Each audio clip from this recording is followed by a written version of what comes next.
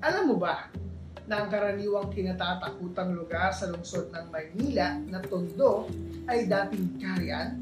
Kumusta? At welcome sa Wayback Wednesday kung saan pag-uusapan natin ng mga bagay-bagay at pangyayari sa ating nakaraan at kasaysayan. Ako si Caleb Alvarez at tara, pag-usapan natin ang kaharian ng Tondo.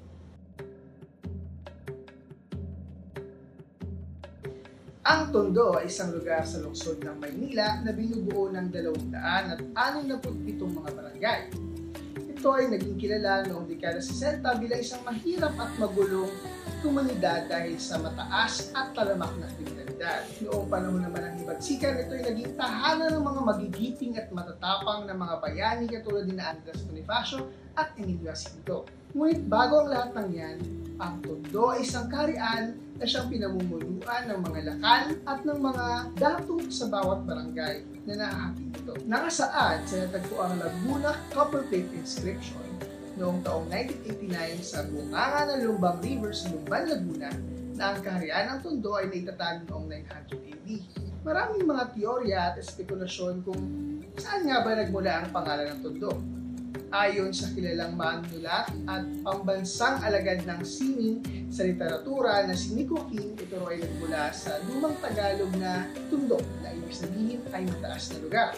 Ayon naman sa isang Pranses na linguistiko na nagngangalang Jean-Paul Potet, ito raw ay galing sa mga bakawan o mangroves na nagkalat noon sa lugar na tinatawag na tindok-tindukan kung ano man ang totoo sa pinanggalingan ng pangalan ng Tondo ay mariing pa rin pinagtatalunan at hindi alam ang totoong pinagkunan.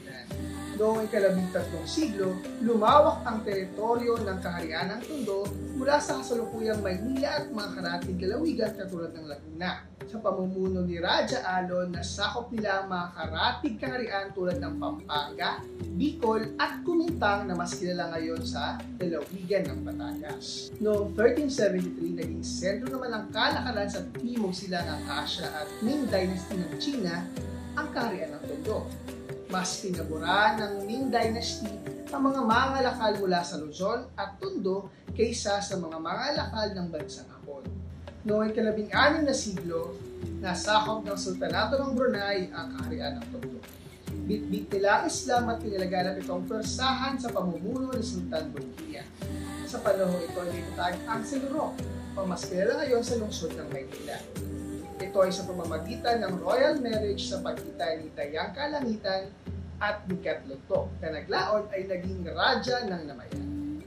Sa panahon ding ito, ang mga lakan na siyang yumakap sa Islam ay napanatili ang kanilang mga kayamanan at lupain, ngunit ang tunay na kapangyarihan ay nasa mga raja Bago matapos ang ikalabing-anim na siglo, taong 1589, ang Maynila ay napaisailalim na ng puwersa ng Espanya at ganoon din ang kaharian ng Tondo.